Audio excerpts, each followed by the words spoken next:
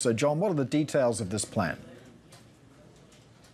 Well, what we know is that uh, regulators, including the central bank governor Pan Gong-sheng, called in executives from banks, from insurance companies, from the stock exchanges uh, into a teleconference on Friday.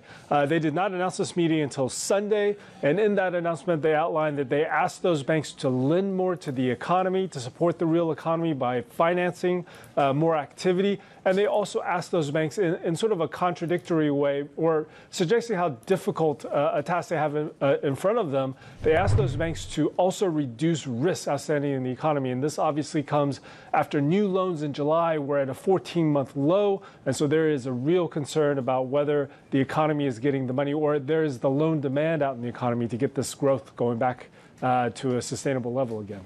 So it's a multi-pronged approach, it would seem, John. We're anticipating now, after last week's surprise cut, that we'll see a mirror cut from the one and five-year LPR later today.